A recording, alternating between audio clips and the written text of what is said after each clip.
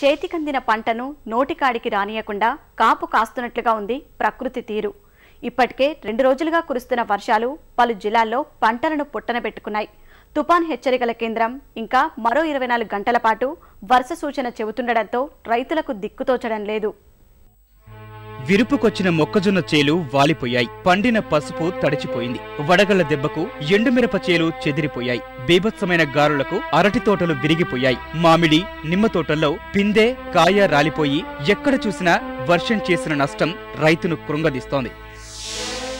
అకాల వర్షం అనంతపురం అన్నదాతను నిలువునా ముంచేసింది కదిరి డివిజన్ పరిధిలో కురిసిన అకాల వర్షం ధాటికి కోతకు సిద్ధమైన పండ్ల తోటలు ధ్వంసమయ్యాయి. కాళసముద్రం నడిమిపల్లి పట్నం గ్రామాల్లోని యాభై ఎకరాలకు పైగా సాగు చేసిన అరటి తోటలకు భారీ నష్టం వాటిల్లింది. దాదాపు ఐదు ఎకరాల్లోని తోటలు ఎందుకు పనికిరాకుండా పోయాయి?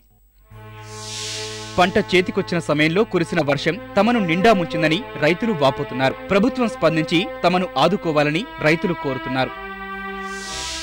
అటు ఆదిలాబాద్ జిల్లాలోనూ రెండు రోజుల వడగళ్ళ వాన బీభత్సం సృష్టించింది. సిర్పూరు నియోజకవర్గంలోని కాగజ్ నగర్ బెజ్జూరు కౌటాల దహెగాం సిర్పూర్ మండలాల్లో గాలివానతో వర్షం కురిసింది. దీంతో జొన్న మొక్కజొన్న శనగ వేరుశెనగ పంటలకు నష్టం వాటిల్లింది. మెదక్ జిల్లాలో కురిసిన వర్షాలకు తీత చేసిన శనగ కట్టె తడిచిపోయింది. రంగారెడ్డి జిల్లా ఇబ్రహీంపట్నంలో కురిసిన వడగళ్ళ వాన ఉద్యాన పంటలకు తీరని నష్టాన్ని మిగిల్చింది.